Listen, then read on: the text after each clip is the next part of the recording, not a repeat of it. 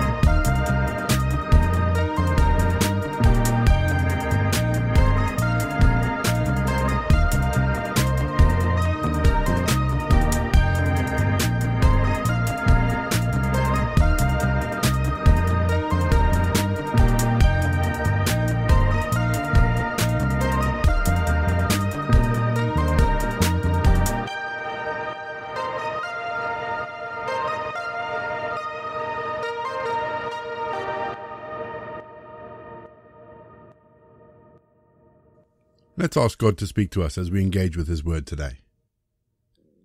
Heavenly Father, as we open our ears, we also open our hearts, that these words of truth may fall upon the very fabric of our lives. May these ancient scriptures come alive within us, to inspire us, to heal us, to cleanse us, to teach us, to restore and to guide our hearts and minds. Lord, come weave your words of life in us. Amen. And our Bible readings this week are taken from the New Standard Revised Version, and we're reading from Nehemiah 5. Now there was a great outcry of the people and of their wives against their Jewish kin. For there were those who said, With our sons and our daughters we are many. We must get grain so that we may eat and stay alive. There were also those who said, We're having to pledge our fields, our vineyards, and our houses in order to get grain during the famine. And there were those who said, we're having to borrow money on our fields and vineyards to pay the king's tax. Now our flesh is the same as that of our kindred. Our children are the same as their children. And yet we are forcing our sons and daughters to be slaves. And some of our daughters have been ravished. We are powerless, and our fields and our vineyards now belong to others. I was very angry when I heard the outcry and these complaints. After thinking about it, I brought charges against the nobles and the officials. I said to them, You are all taking interest from your own people. And I called a great assembly to deal with them and said to them, As far as we were able, we bought back our Jewish kindred who had been sold to another nation. Now you are selling your own kin, who must then be bought back by us. They were silent and could not find a word to say, so I said, The thing that you are doing is not good. Should you not walk in the fear of our God to prevent the taunts of the nations our enemies? Moreover, I and my brothers and my servants are lending them money and grain. Let us stop this taking of interest. Restore to them, this very day, their fields, their vineyards, their olive orchards, and their houses, and the interest on money, grain, wine, and oil that you've been exacting from them when they said, We will restore everything and demand nothing more from them. We will do as you say. And I called the priests and made them take an oath to do so as they promised. I also shook out the fold of my garment and said, So may God shake out everyone from house and from property who does not perform this promise. Thus they may be shaken out and emptied. And all the assembly said, Amen, and praised the Lord. And the people did as they had promised. Moreover, from the time that I was appointed to be their governor in the land of Judah, from the twentieth year to the thirty second year of King Artaxerxes, twelve years, neither I nor my brothers ate the food allowance of the governor.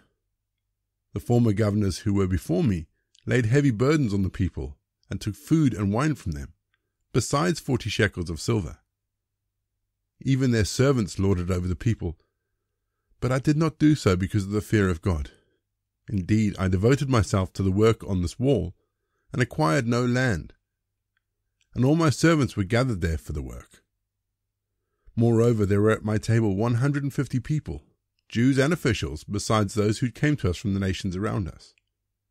Now that which was prepared from day one was one ox and six sheep. Also fowls were prepared for me, and every ten days skins of wine in abundance Yet with all this, I did not demand the food allowance of the governor, because of the heavy burden of labor on the people. Remember for my good, O my God, all that I have done for this people. Revelation 18, verses 21 through 24. Then a mighty angel took up a stone, like a great millstone, and threw it into the sea, saying, With such violence Babylon the great city will be thrown down and will be found no more and the sound of harpists and minstrels and flutists and trumpeters will be heard in you no more.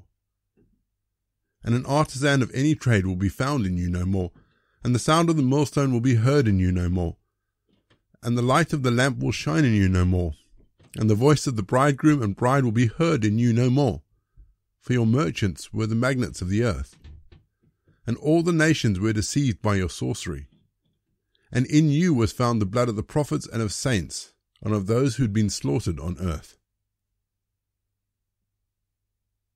Matthew 15, verses 29 through 39. After Jesus had left that place, he passed along the Sea of Galilee, and he went up the mountain where he sat down. Great crowds came to him, bringing with them the lame, the maimed, the blind, the mute, and many others. They put them at his feet, and he cured them so that the crowd was amazed when they saw the mute speaking, the maimed whole, the lame walking, and the blind seeing, and they praised the God of Israel. Then Jesus called his disciples to him and said, I have compassion for the crowd, because they have been with you now for three days, have nothing to eat. And I do not want to send them away hungry, for they may faint on the way. The disciples said to him, Where are we to get enough bread in the desert to feed so great a crowd? Jesus asked them, How many loaves have you? They said, Seven, and a few small fish. Then, ordering the crowd to sit down on the ground, he took the seven loaves and the fish, and after giving thanks, he broke them and gave them to the disciples. And the disciples gave them to the crowds, and all of them ate and were filled. And they took up the broken pieces left over, seven baskets full. Those who had eaten were four thousand men, besides women and children. After sending away the crowds, he got into the boat and went to the region of Magadan. we're going to have some more music to give us some time to think about the bits of scripture that have caught our attention. And after music, we'll say our prayers for the day and the time of the year.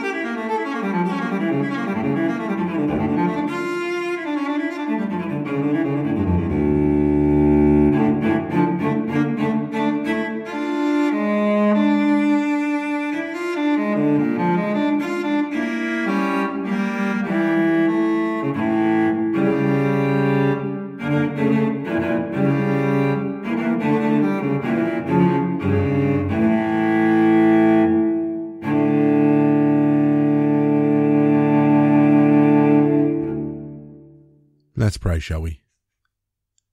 Lord, on this day of the week, I recall the strength of the Trinity in my life. Thank you for the strands that hold me safe in the Father, that bring redemption and grace in the Son, and freedom and hope through the Holy Spirit. Thank you for this cord of strength.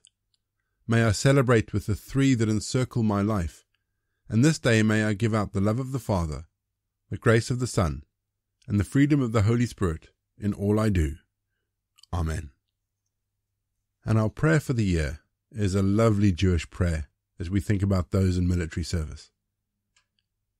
God of life and death, service and sacrifice, courage and compassion, we remember those who died while serving our nation and recognize the veterans who served whether decades ago or only yesterday. We are internally conflicted at the cost of our conflicts as idealists, we wish there were never any need for defense forces. Yet as pragmatists, we know there will always be a need for them. As dreamers, we pray for a day when nation shall not lift up sword against nation, nor ever again study war. Yet as realists, we accept that there are circumstances where force must be met with force. Scripture teaches us to seek peace and pursue it. It also declares that there are enemies that must be destroyed. We thank our soldiers, sailors, and pilots for doing that which we wish never needed to be done. We pray for a world where time and talent, strength and intellect can be spent in fighting disease, defeating poverty, and defending the downtrodden without having to take up arms. God of peace and war, concord and conflict, hope and heartbreak, we pray that the sacrifices of our fallen will be forever be remembered and that recognition of our veterans will not only merely convey thanks, but demonstrate it.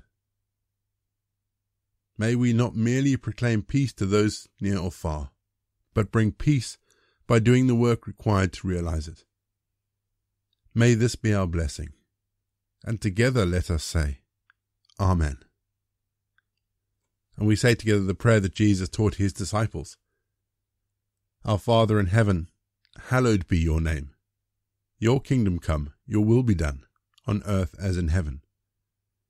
Give us today our daily bread, and forgive us our sins as we forgive those who sin against us. Lead us not into temptation, but deliver us from evil. For the kingdom, the power, and the glory are yours, now and forever. Amen. And the grace of our Lord Jesus Christ, the love of God, and the fellowship of the Holy Spirit be with us and remain with us now and forevermore. Go in peace to love and serve the Lord. You've been listening to Walking the Way, a podcast based on the book This Day, A Wesleyan Way of Prayer by Lawrence Hulse and published by Abingdon Press. All the details can be found in the show notes, including the scripture passages and credits for the prayers. And if you want to partner with Walking the Way, if you think this is something that is of, of value, please head to www.givesendgo.com forward slash walking the way. For more information, head to rayborrett.co.uk and you can find me on Twitter, Facebook, and Instagram. And don't forget you can listen to us on TuneIn and YouTube as well. My name is Ray, and so until next time, I'll be here waiting as we continue walking the way.